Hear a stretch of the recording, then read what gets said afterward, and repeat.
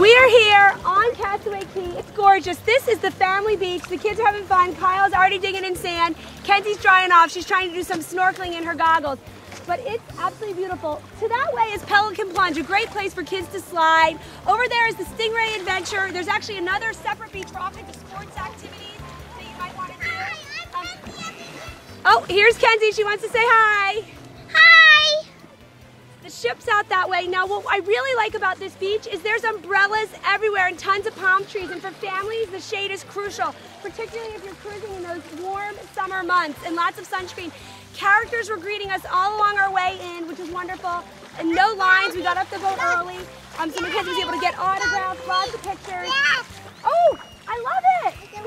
It's a river he just built. It's awesome. So we are really excited for a great day on the beach.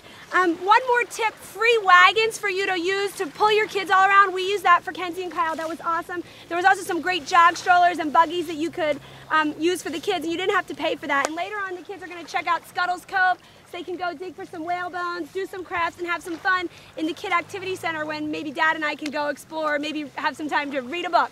So that's all now. See ya.